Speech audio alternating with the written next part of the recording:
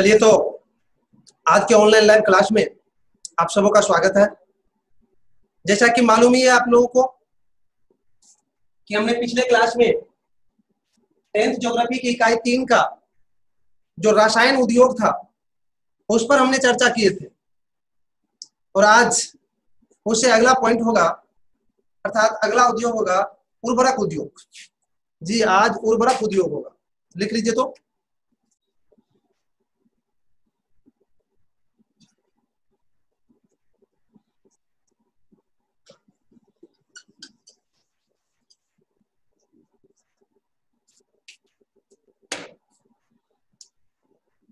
मैं बता दूँ आप लोग को कि उर्वरक उद्योग का तात्पर्य खाद, अर्थात खेत में जो उत्पादन क्षमता बढ़ाने के लिए या फ़सल को बढ़ने के लिए जो हम उपयोग करते हैं, उसी खाद बनाने वाला जो उद्योग होता है, उसी को कहते हैं उर्वरक उद्योग। अर्थात सीधा हो गया कि खेत की उत्पादन क्षमता को बढ़ाने वाले जो खाद्य होते हैं, उसके बनाने वाले उद्योग को ही उर्वरक उद्योग कहा जाता है। और मैं आप लोग को बता दूँ कि भारत कृषि प्रधान देश है। सभी को मालूम है कि भारत के अधिकांश लोग कृषि क्षेत्र से जुड़े हुए हैं, क्योंकि भारत की भूमि उपजाऊ है। अतः यहाँ कृषि कार्य करना आसान है, इसलिए अधिक से अधिक लोग कृषि से जुड़े हुए हैं और कृषि क्षेत्र में कार्य करते हैं। अतः यहाँ पर खाद की ज़रूरत अधिक से अधिक रहती है। और जब जिस चीज़ की ज़रूरत अधिक से अधिक रहती है तो वो चीज़ की मांग अधिक होती है। मांग अधिक होगा तो उसको बनाने वाले उद्योग अधिक होगा। यही कारण है कि उर्वरक उद्योग की स्थिति भारत में अच्छी है। मैं थोड़ा सा बता दूँ आप लोग को कि भारत में इस उद्योग के क्षेत्र में पंजाब, गुजरात, ये सब काफ़ी आगे है। उसके अलावा भी अन्य देश में भी इसका उपयोग होता है, लेकिन पंजाब, गुजरात ये सब काफ़ी आगे हैं, क्योंकि यहाँ पर खेती काफ़ी सघन रूप से होती है, अतः वहाँ पर खाद की ज़रूरत अधिक होती है। तो शायद आपने उर्वरक उद्योग का क्या मतलब होता है? शायद समझ गए होंगे। मैं थोड़ा सा एक चर्चा कर दूँ। भारत में पहली बार 1906 ईस्वी में रानी पेट है तमिलनाडु में। वहाँ पर पहला उर्वरक उद्योग स्थापित हुआ था। और धीरे धीरे यह उद्योग बढ़ता चला गया। वैसे मैं अभी अभी जानकारी दूँ आप लोग को। कि प्रेजेंट में बड़का जो उद्योग है भारत में वह चौसठ वो है उर्वरक उद्योग और छोटका तो बहुत सारे हैं। बड़े चौसठ उद्योग हैं उर्वरक उद्योग जहाँ पर खाद काफ़ी अधिक मात्रा में तैयार होती है।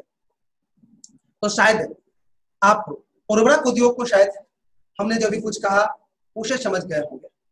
अब इसको पहले आप लोग नोट कर लीजिए फिर आपसे डिस, आप डिस्कस कीजिएगा।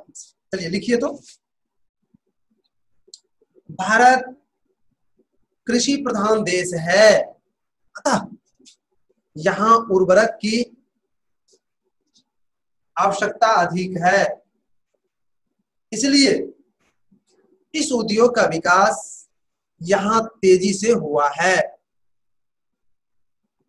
भारत विश्व का तीसरा सबसे बड़ा नाइट्रोजन उर्वरक उत्पादक देश है।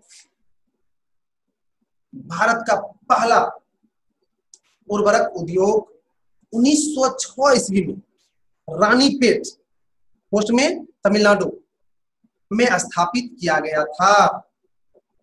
और अभी चौसठ बड़े उर्वरक उद्योग भारत में है। पैराग्राफ कुल उर्वरक उत्पादन का 50 प्रतिशत से अधिक गुजरात, तमिलनाडु, उत्तर प्रदेश, पंजाब और केरल राज्य में हो रहा है। इसके अतिरिक्त आंध्र प्रदेश, उड़ीसा, राजस्थान, बिहार, महाराष्ट्र, असम, पश्चिम बंगाल, गोवा, दिल्ली मध्य प्रदेश तथा कर्नाटक में भी उर्वरक का उद्योग है।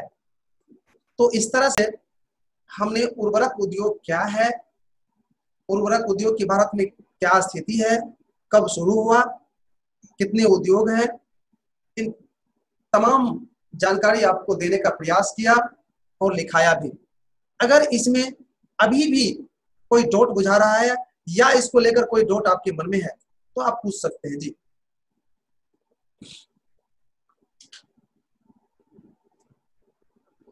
जी, कोई डाउट है तो आप क्लियर कर लीजिए।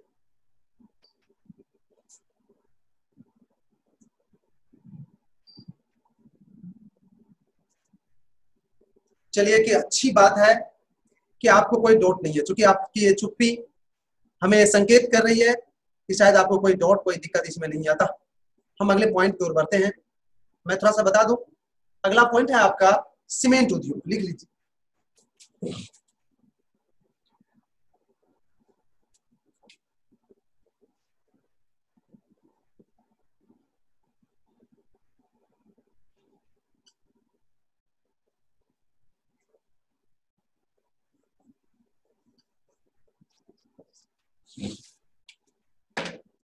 पेन नीचे रखिए। सीमेंट उद्योग में क्लियर है कि क्या बनता होगा? सीमेंट बनता होगा। और भारत विकासशील देश है। यहाँ पर भवन निर्माण का कार्य काफ़ी अधिक हो रहा है। चाहे वह उद्योग हो, चाहे आवासीय घर हो। अर्थात भवन निर्माण का काम अधिक होता क्योंकि भवन का ज़रूरत यहाँ पर अधिक है।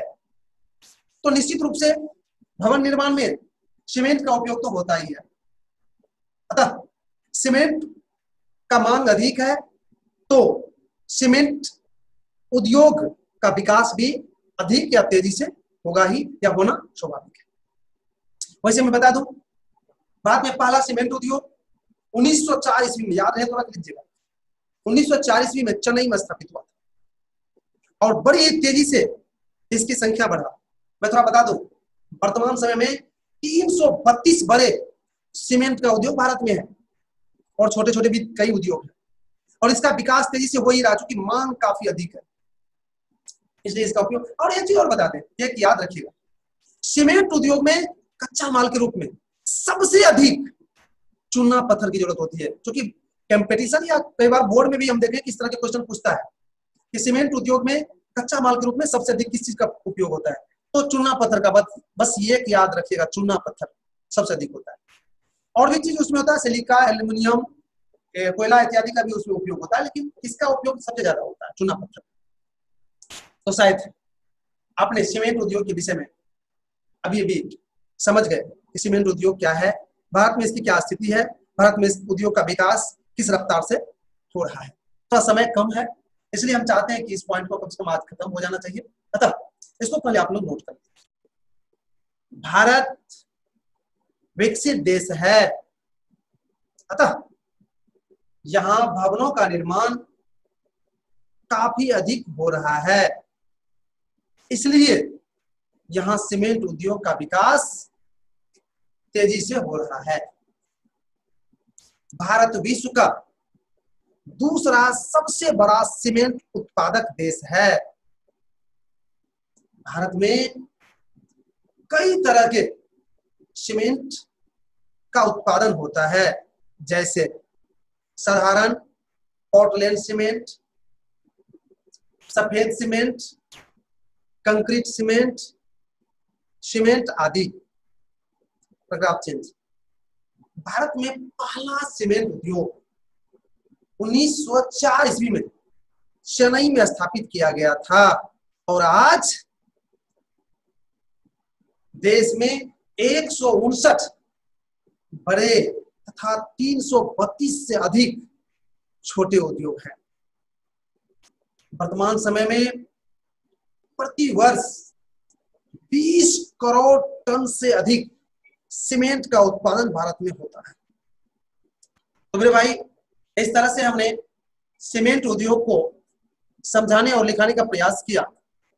अगर इसको लेकर किसी भी तरह के डाउट आपके मन में है आप पूछ सकते हैं, जी।